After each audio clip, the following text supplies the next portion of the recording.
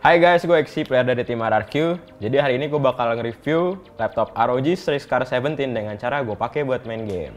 Oke, sekarang produknya sudah ada depan gue. Seperti yang kalian lihat, laptop ROG ini keren banget. Sporty, belum lagi armor cap-nya bisa diganti-ganti. Jadi nggak sabar. Yuklah kita tes dan mulai reviewnya. Disebut-sebut sebagai World Best Performance Gaming Laptop with Intelligent Cooling System, ROG Strix Car 17 ini emang punya performa yang bisa dibilang terbaik guys. Gue beruntung banget karena tim RRQ bagian dari tim ROG. Jadi kita bisa cobain laptopnya duluan. Kita lihat dari layarnya ya guys. ROG Strix Car 17 ini menggunakan layar dengan standar esports guys.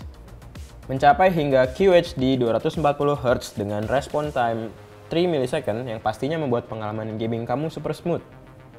Ngomongin tentang gaming experience, ROG Strix Car 17 ini juga sudah dilengkapi dengan Windows 11 yang memungkinkan kita bermain bersama pemain dari seluruh dunia.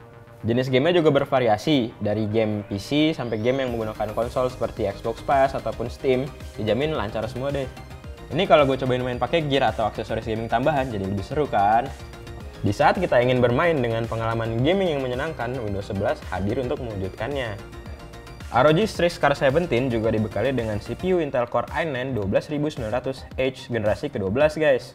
Prosesor ini sudah pasti mudah banget buat menjalankan game-game berat ataupun multitasking, jadi lagi ngegame sambil live streaming nggak bakal jadi masalah.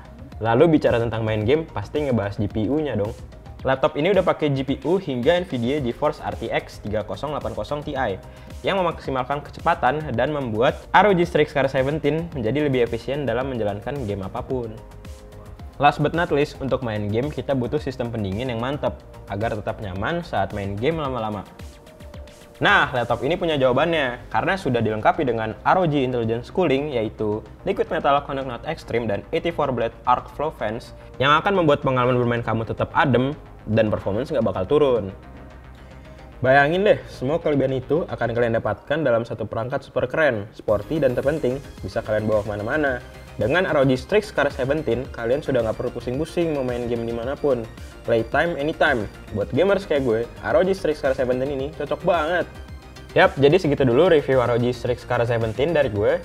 Kalau mau tahu harganya, tunggu kehadirannya di Indonesia sebentar lagi 12 April 2022.